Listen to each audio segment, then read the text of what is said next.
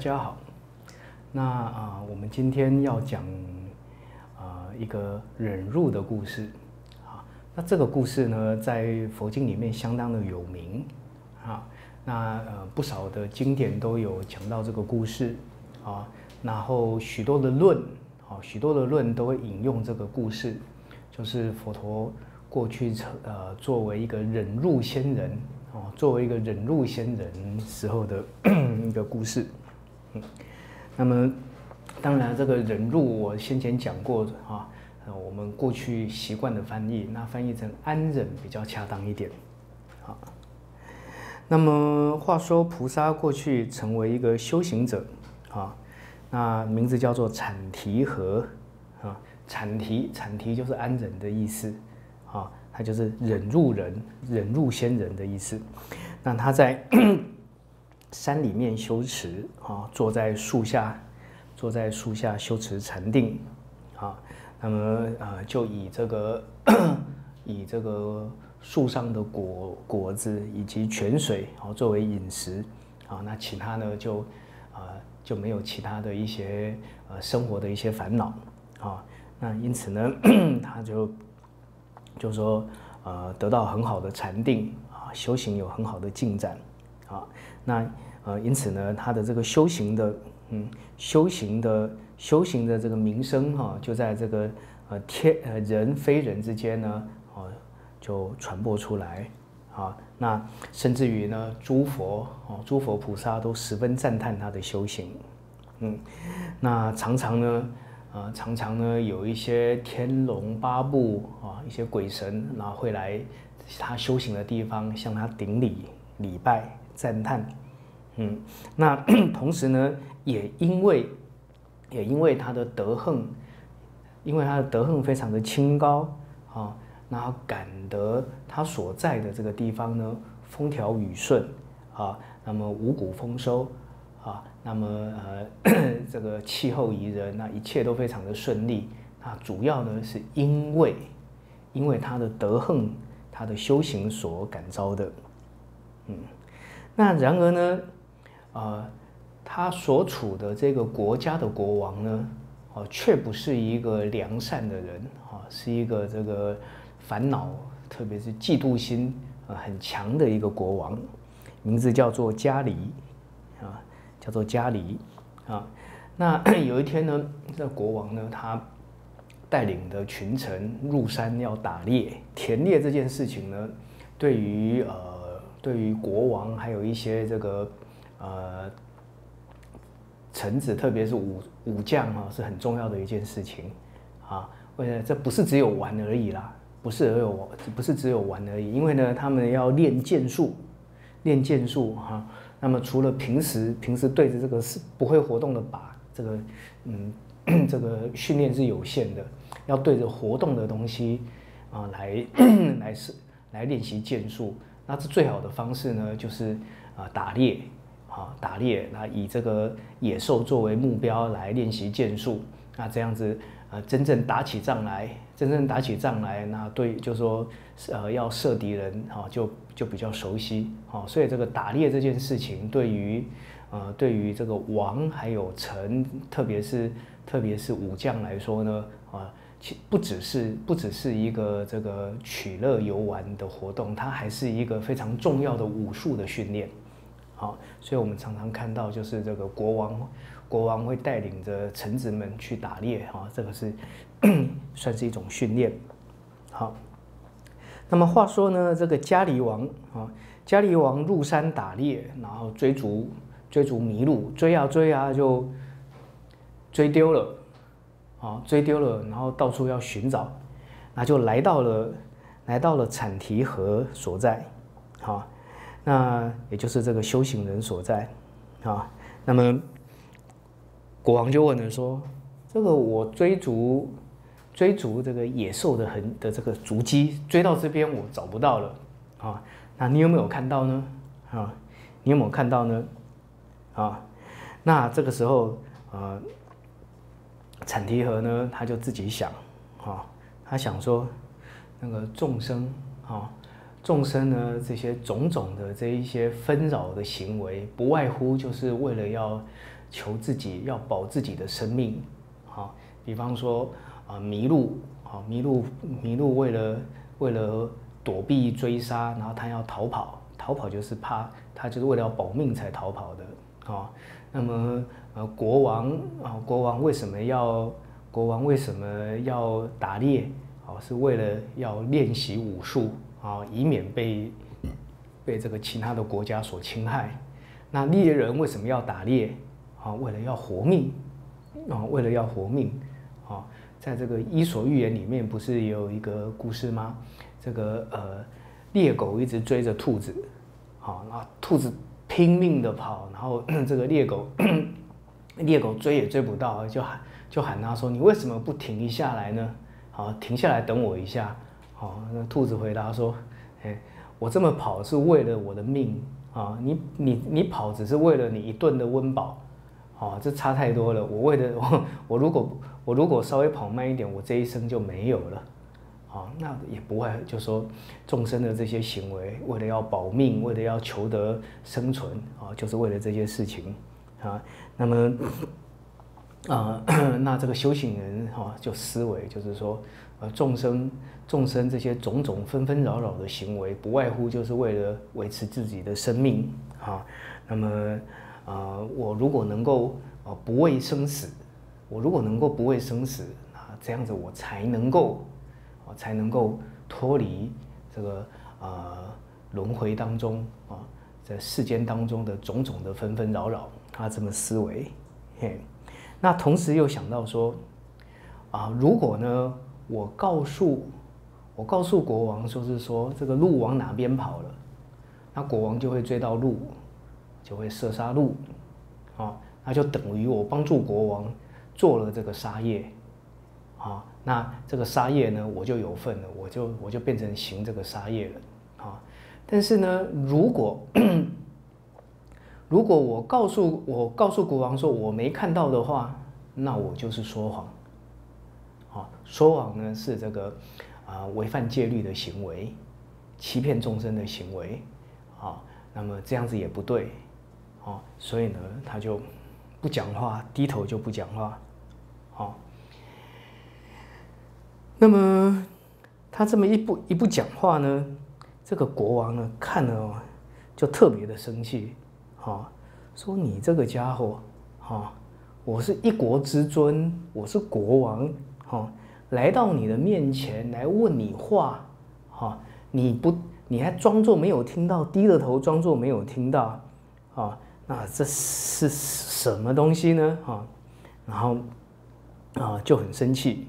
啊就很生气，然后就逼着他说，逼着他说，这我已经就说，我现在是国王，我以国王的姿态问你，你再不回答，好。你再不回答，我就要对你处刑。好，你有没有见到？好，那么，啊，这个国王啊，这个人忍辱仙人呢，他想一想，那与其伤害生命，哈，那倒不如，啊，倒不如就是说谎来护生命好了。叫做说，我我没有见到，哈，那国王听了又更加生气，哈，野兽的足迹在这边。啊，在这边你还敢说你见不到？啊，那你以为他就对他说：“你以为我，你以为我这个国王我没有办法砍你吗？啊，你以为我没有办法杀你吗？好，那这个呃菩萨没有办法了，他就说我任凭你处置，啊，我任凭你处置，反正他就是说什么，啊，说什么呢？他也不肯，啊，不肯就是说指出说这个麋鹿跑到哪边去了。”好，这边我们可以先分析一下，啊，这个菩萨忍辱仙人呢，他要维，他要保护这个麋鹿的生生存，啊，这个就是我们讲到布施里面的这个无畏施，无畏施，他要保护保护他的生命，好，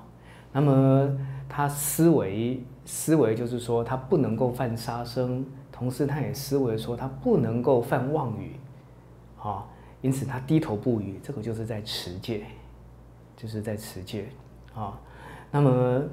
呃，这时候他必须要忍受国王对他的种种的迫害，哦，这个就是在安忍，这个就在安忍。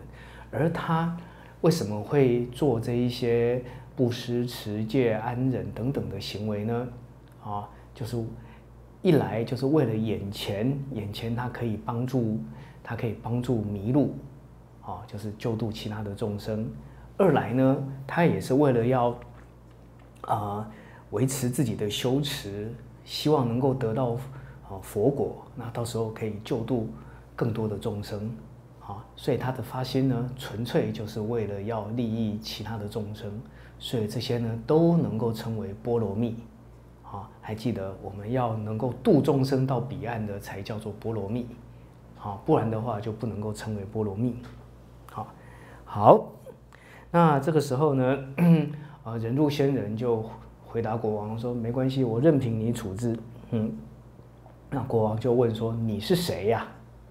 你是谁啊？这么大胆，好，那么 他就回答说：“我是忍入人，好，我是忍入人，好。”那国王呢就拔剑，拔剑把他的右手把他砍掉了，好，把他砍掉了。那这个时候呢，啊，菩萨呢手被砍了，好，然后他想，那菩萨这个时候呢？如果换成我的话，换成我的话呢，要么就是逃跑，要么就起来跟他反抗了。可是菩萨这个时候呢，他还能够思维，这个也就是安忍的力量啊。他继续思维说：“呃，我啊，我为什么会这样做？是因为我要求无上正等正觉啊。那我不应该要跟他做这个争辩啊，浪费我的这个，就是损我的修行。”而且呢，对于我这样子没什么没什么过失的人呢，这个国王呢，就国王就会拿刀子砍我。那更何况其他的百姓呢？啊，那这个国王呢，显然是暴虐无道。因此呢，他就发一个愿：我如果未来成佛的话，我要先度他，我要先度他。好，因为呢，这看起来是一个这个呃，就是一个。呃，品性啊非常坏的人，所以像这样坏的人呢，我要特别的发愿，我要先度他。好，于是呢，他心中就发了这个愿，啊，那我先我一定要先度他，那这样他他得度呢，哦，他得度呢，那这个呃就有就就有许多的众生在就不会受他的伤害。嗯，这时候国王又在问人说：“你是谁呀？”啊，他又在回答说：“我是忍入人。”啊，国王又把他的左手把他砍下来了。好，就这样子问一次，他打一次，他就再把他砍一次。好，先把左右手给砍下来，之后再砍他的脚。好，手脚都被砍下来之后呢，再砍他的耳朵，再砍他的鼻子。好，然后呢，这个。被砍啊，流血啊，痛苦无量。但是呢，呃，这个呃忍入人呢，他继续就是，呃，自己思维，那么想办法，就是说要让自己能够安忍，好，不跟 不跟国王作对，好，想办法就是要安忍，好，那这个砍到后来呢，这实在是天地都看不下去了，好，天地震动，好，然后日月无光，啊。那 这个四大天王哦，四大天王都看不下去了，哦，同声喊同声的讲到说哈，这个国王怎么会这么暴虐无道？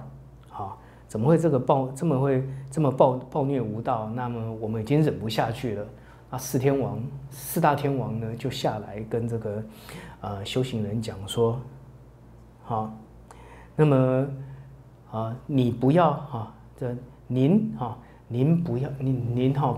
您请您继续安忍哈，不要让他污染你。我们好来帮你去把这个国王乃至于他的妻子儿女全部都给杀光。好，您就您您不要动。好，这个事情，这个暴虐无道的国王，我来消灭他以及他的种族。好，就是这修行人回答说：啊，求求你们不要讲什，不要讲这样子的话。哦，讲这样话算什么呢？好，我为什么会受到这样子的灾难？那个是因为我过去是，过去是我不遵从诸佛的教导，所以我犯下了恶业。因为我犯下了恶业，所以说我现在才会得到这样子的报应。好，那么我今天呢，能够接受，我今天呢。接受这样子的报应，可以偿还我过去所造的恶业，好，这说起来呢，说起来呢，其实是一件很划算的事情，好，那这个这是我自己的事情，好，我自己造的恶自己来担，啊，那么，嗯，就说，呃，我如果，啊，我如果现在呢，我如果不能够安忍，啊，我顺从顺从国王的意志，再去杀害伤害其他的生命的话。啊，那么这个往后未来是这还要遭受比现在更可怕的报应。啊，所以说呢，呃，这个呃，我就说我必须要安忍，你们也不用为我出头啦，好，这是我自己的事情，好，请你们不要去伤害国王，乃至于说伤害他的啊他的亲族，嗯，那么 呃这个时候呢，呃附近的。呃，附近这跟着国王的这一些，跟着国王的这一些这些臣民们呢，啊，看到这个过程，啊，那就跟这个啊，跟这个忍入人、忍辱仙人齐情，啊，就是说，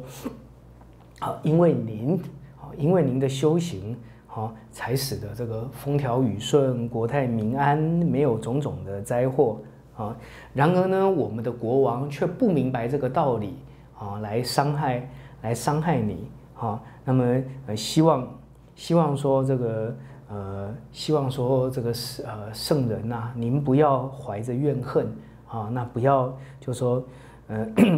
呃，不要把这个事情啊，不要不要把这个事情向这个天地或者是这个呃阎罗来报告，那使得呢，我们我们也会遭受灾殃。嗯，那时候菩萨回答说。这个国王呢，以莫须有的罪名加在我的身上，好，那么让我痛苦，好，那我呢，好，我对他呢，我只感到怜悯而已，好，因为呢，我因为呢，我看到他啊，不明白，不明白因果，不明白善恶，好，所以呢，我心中我只是感到更加的悲悯，好，就好像是这个。母亲对自己的独生子一样的爱护，哈，我绝对没有，我绝对没有怨恨他的意思，我反而对我反而对他升起的悲悯，更何况你们呢？好，这个也这个过失跟你们没有关系，这不可能，你们就说你们不用担心，不可能让不可能让你们遭受遭受到他的牵连的啊。好，那如果呢，你们有疑问的话，你们有疑问的话，哈，把我被这个。嗯，把我这个被砍断的这个这些手脚哈，这些肢节呢，哈，那你们啊，你们帮帮我把它收集过来，好，帮我把它收集过来，好，那么帮我接上去，好，如果啊，如果说啊，我是真的，我刚刚讲的话是真的，就是说我真的对对国王乃至一切的这个众生众生呢，我都像母亲一样的这个爱护的话，好，那。我的手脚呢就能够，哦就能够恢复，啊就能够恢复。那么呃这个时候呢，这个呃旁边的这些众众人呢哈，众人呢就这个裹足不前，不晓得该怎么办。嗯，那这时怎么样呢？啊，我们这位菩萨哈 修行的忍辱仙人，他有一个弟弟，哈，他有一个弟弟呢在。在另外别的地方的山中修行，哦，跟他一样，啊，也是修行，那一样呢，啊，得到五通，哦，得到五种神通。那那个时候呢，他感觉到感觉到有有便利，他就用天眼观看，哎，看到说他先看到就是说哥哥哥哥修行的地方呢，有一些天龙鬼神，哦，聚集在这边，好，然后他再仔细看，看到说，哎。这个国王哦，国王有恶毒之心，所以他想说，那这样子可能我哥哥有危险了。于是呢，他马上呢就以这个神足通，好，以神足通马上呢就来到了哥哥的所在地，好，然后马上问这个问哥哥说，哎，你有没有受到什么伤害？好，那么哥哥回答说，哦，我没有受到一点伤害，好，弟弟说，啊，你怎么伤成了这个样子？啊，手脚。啊，耳朵、鼻子都被砍了，你还说你还说你没有没有任你没有任何的伤害，啊，那这个忍辱仙人说，啊，这个我是真的啊没有受到伤害。如果你不相信的话，啊不相信的话，把我被砍断的这一些枝节呢，啊帮我放回原来的地方，啊，如果如果我讲的没有虚假的话，哦，那这些呢会会复原。那于是弟弟呢，赶快呢就把哥哥被砍断的这些手脚等等呢，赶快拿来接到原来的地方。那一接了之后呢，马上就复原了啊。那因此呢，这整个就说他把这些肢节全部接完之后，这个忍辱仙人又恢复成原来的形状了。好，那么毫发无伤的样子。他说啊，那么今天呢？啊，今天呢，我说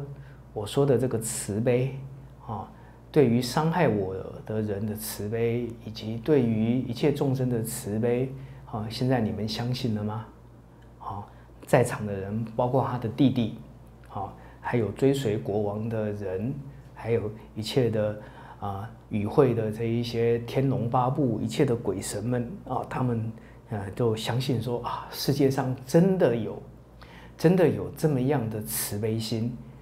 啊，这么样的安忍心啊，人家伤害他呢，他还能够 保持的这个慈悲心，于是呢，大家就 大家就呃很恭敬的顶礼而退下啊。那话说呢，这个国王回去了之后呢，国王回去了之后呢，在这个国家。这个国家呢，就啊渐渐的啊渐渐的就这个日月无光，然后呢种种妖魔鬼怪出现，那么呃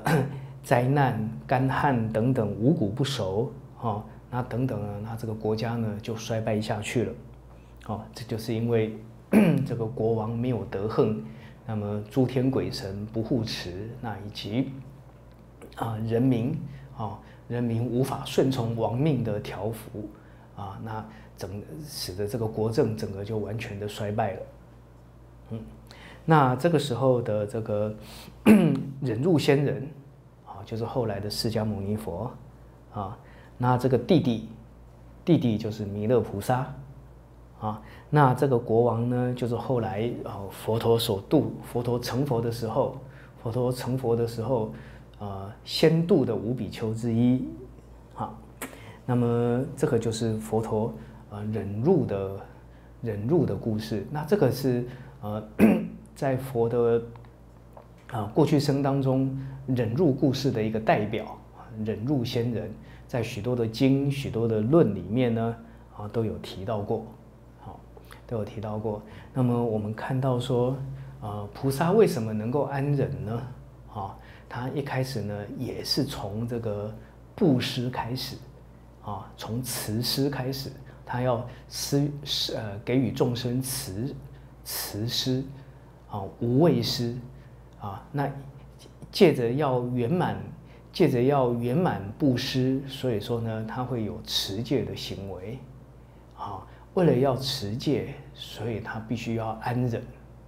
啊。安忍之后呢，他才能够他才能够呃有精进心啊。那么安忍呢？啊，像我们像我们平时呢，这个一只蚊子咬下去啊，我们就已经已经忍不住了啊，更何况去割这个手足呢？啊，那这个呢，是因为菩萨啊，菩萨非常精进的安忍，因此呢，他也有禅定的力量，有禅定的力量能能够呃 帮助他去做这个安忍的功夫。哦，这没有定力是做不到的。这个就是借由安忍而开发出精进，因而得到禅定。而在这个禅定之下，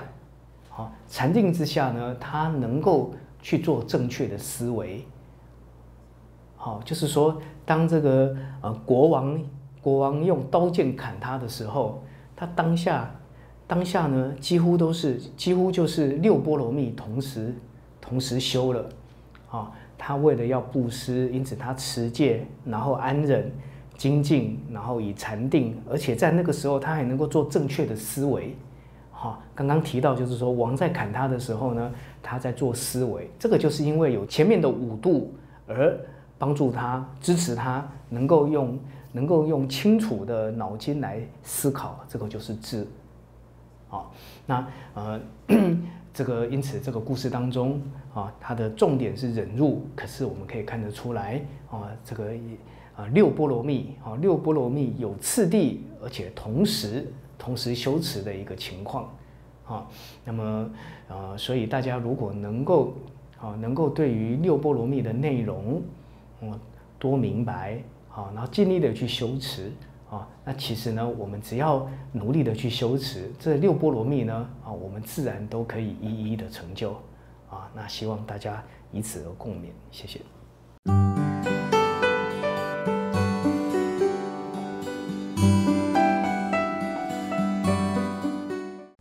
持专户：兆丰国际商业银行南台北分行，账号零三零零九零一五七七零，户名中华民国国际藏传佛教研究会。加入藏研会，个人会员每个月一百元，中心团体会员每个月一千元。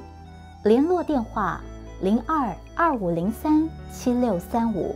，email。ttbtvoffice at gmail dot com 愿世界看见佛法，阿弥陀佛。